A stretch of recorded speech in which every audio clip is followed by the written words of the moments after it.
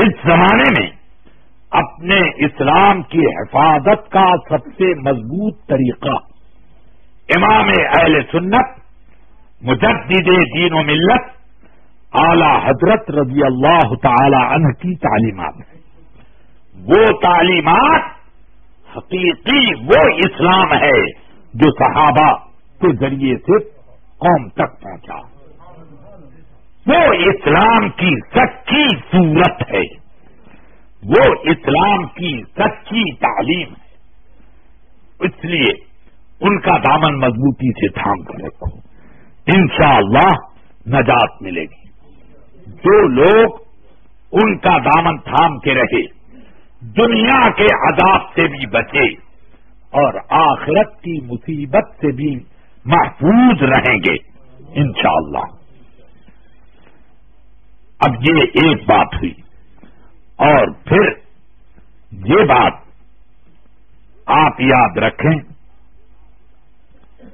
کہ اللہ تعالی نے ہم لوگوں کو آزاد نہیں بنایا، بلکہ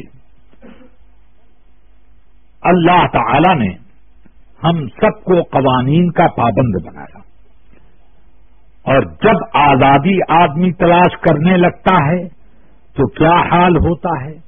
حدیث شریف میں فرمایا کہ ابھی تو وقت نہیں ہے۔ فرماتے ہیں، اب وقت آنے والا ہے۔ یہ کہ یس بحر رجل مؤمنن و یمسی کافرن وہ سر رجل مومن و یوس بے کہ صبح کے وقت آدمی مسلمان ہوگا اور شام آتے آتے کافر ہو جائے۔ شام کو آدمی مسلمان ہوگا، رات بیتتے بیتتے صبح آتے آتے کافر۔ ایسے ایسے برین واشنگ کے انتظامات ہوں گے کہ آدمی کھٹ کھٹا کھٹ کفر کے گڈھے میں گرتا چلا جائے گا۔ جہنم کے دروازے میں گھستا چلا جائے گا۔ یہ میرے آقا صلی اللہ علیہ وسلم نے فرمایا۔ تو اس اب وہ وقت شروع ہو گیا۔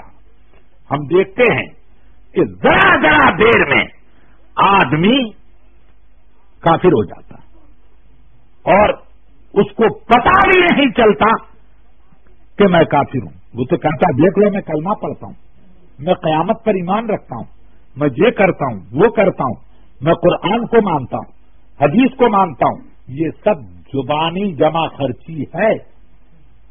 ورنہ اگر ان چیزوں کو مانتا تو کسی بھی اسلام کے کسی بھی رکن کا وہ انکار نہ کرتا۔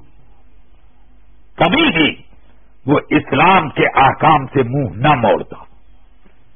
اس لیے آپ سب لوگ اپنے اپنی بھی حفاظت کرو اور اپنے خاندان کی بھی حفاظت کرو۔ اللہ تعالی ہم سب کو خیر و عافیت سے رکھے۔ سرات مستقیم پر چلائے اور ہمارے پاؤں کو پھسلنے سے محفوظ رکھے۔ وہ آخر دامانہ ان الحمد للہ رب العالمین۔ سلاط و سلام کا نظر